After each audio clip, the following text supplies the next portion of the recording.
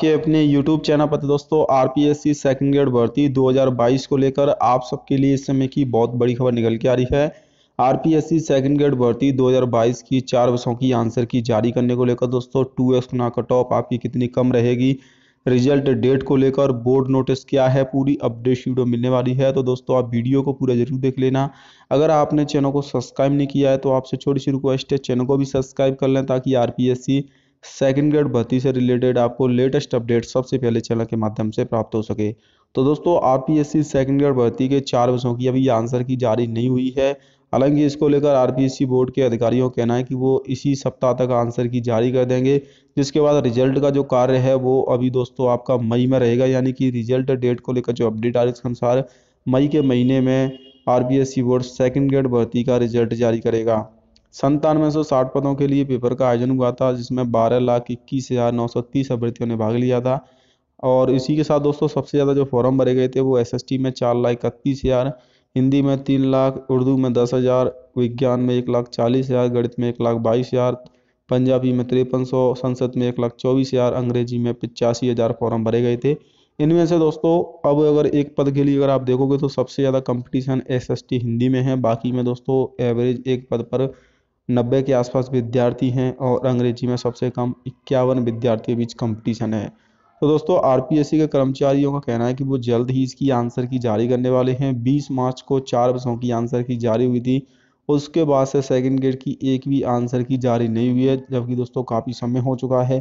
लगभग एक महीने का समय हो धीरे धीरे से हो चुका है दोस्तों। तो ऐसे में आरपीएससी बाकी की आंसर की जारी क्यों नहीं कर रहा है, जिसको लेकर आरपीएससी के कार्यालय के बाहर प्रदर्शन भी किया गया। स्कूल व्याख्याता और वरिष्ठ अध्यापक परीक्षा परिणाम जारी करवाने की मांग को लेकर बेरोजगार, एकीकृत महासंघ के जो अध्यक्ष उपेन्द्र यादव ने दोस्तों नेतृत्व में आंदोलन किया गया था, इसके बाद से आंसर की भी जारी हुई।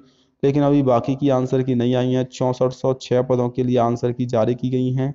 यहाँ पर आप देख सकते हैं आंसर की, एसएसटी, हिंदी, अंग्रेज़ी संसद की आंसर की आई है। गणित विज्ञान, उर्दू, पंजाबी की आंसर की अभी नहीं आई है।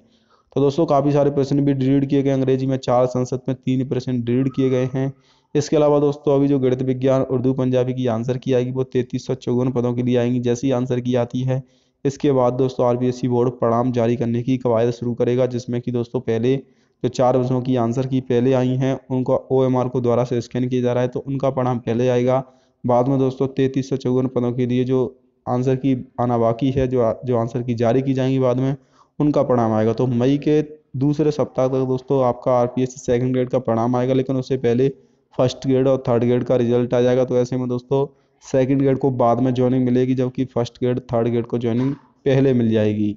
तो काफ़ी सारे स्टूडेंट ऐसे हैं जिन्होंने सेकेंड ग्रेड के साथ साथ रीड थर्ड ग्रेड भी दिया अगर उनका वहाँ पर सिलेक्शन हो जाता है तो जब सेकेंड ग्रेड का रिज़ल्ट आएगा तो दोस्तों वो थर्ड ग्रेड को छोड़कर सेकेंड ग्रेड को ज्वाइन करेंगे। ऐसे में दोस्तों थर्ड ग्रेड में पद खाली हो जाएँगे। और नए छात्रों को मौका भी नहीं मिल पाएगा क्योंकि दोस्तों, जब तक भर्ती पूरी हो हो जाएगी।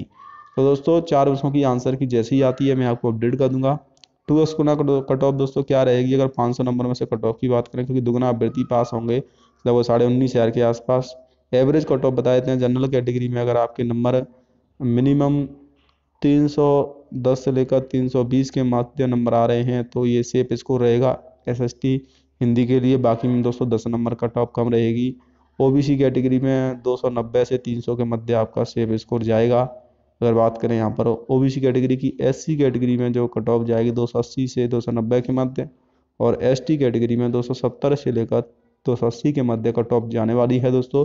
ये सेफ़ स्कोर है, हालाँकि इसमें आपको सब्जेक्ट के हिसाब से कट ऑफ़ में कमी या फिर बढ़ोतरी भी देखने को मिल सकती है। जय हिंद, वंदे मातरम।